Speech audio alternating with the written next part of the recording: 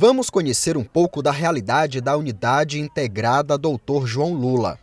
Os mais de 800 alunos da escola, que fica no bairro São Francisco, em Timon, no Maranhão, reclamam que não tem uma quadra adequada para a prática de esportes. A água do bebedouro é quente e falta material, como folha e pincel. Mas o que vem atormentando a todos são os furtos dos ventiladores das salas de aula. Nas paredes só restam as marcas. A ação criminosa acontece durante a madrugada e quase diariamente. Quando a gente chegou aqui, no, passou o final de semana, a gente chegou na segunda-feira, não tinha nenhum ventilador. A gente foi olhar pelas outras salas, tava todos com ventiladores. A gente perguntou para a pessoa lá da direção o que tinha acontecido, que a gente pensou que tinham tirado. Ah, não, tiraram para, para ajeitar alguma coisa. Ela falou, não, eu não sei o que, que aconteceu com os ventiladores de lá. E a gente trouxe ela aqui para ver.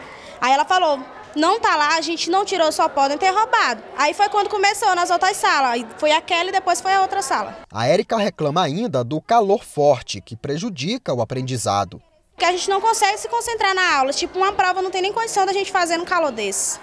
Por causa das invasões dos bandidos na escola, a Ana tem medo de ficar na sala de aula. Se eles entram na escola, rende todo mundo, e aí? Cadê o segurança? Não tem. É isso, é a nossa triste realidade aqui do João Lula. E por causa do calor, por conta dos furtos dos ventiladores, a direção da escola está tentando amenizar o problema, trazendo os alunos para esta sala, onde funciona o laboratório de informática.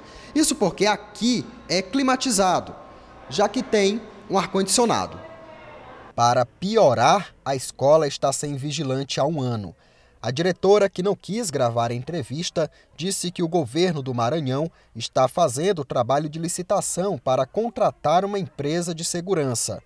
Ela disse ainda que já enviou ofícios à Secretaria de Educação pedindo melhores condições de trabalho.